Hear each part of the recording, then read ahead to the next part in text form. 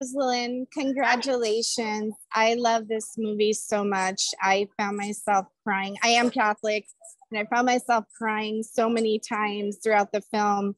Um, so, how did you hear about Father Stu, and what drew you to this project? Well, I uh, I heard about him through Mark, who had heard about him probably ten years earlier, um, and he'd been searching for the right person or people to to bring the story to life. And i was hugely honored that he thought i might be the one to do that. Um, and um, you know like i said it's it's uh it there was such a an inspiring message of hope and and resiliency um, that i felt was something you know people people need right now. Um, but also you know the fact that you've seen the movie you know he he exhibited such strength and grace and humility in his suffering. And that's something that was so inspiring to me and that i hope can be inspiring to other people um,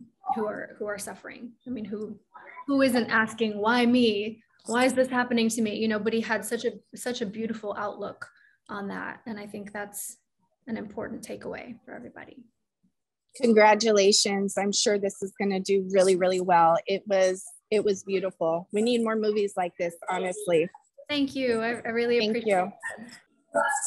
so rosalind my question to you is what is your personal t- takeaway from this? What did you learn throughout this process um, about stu about his life what did it change you in any way? Because even just as a viewer i it was so compelling and it was so moving and it made me think about my own life right? Yeah. so um again and i appreciate that. I, I appreciate that. Yeah no you did. You did for sure. You nailed it.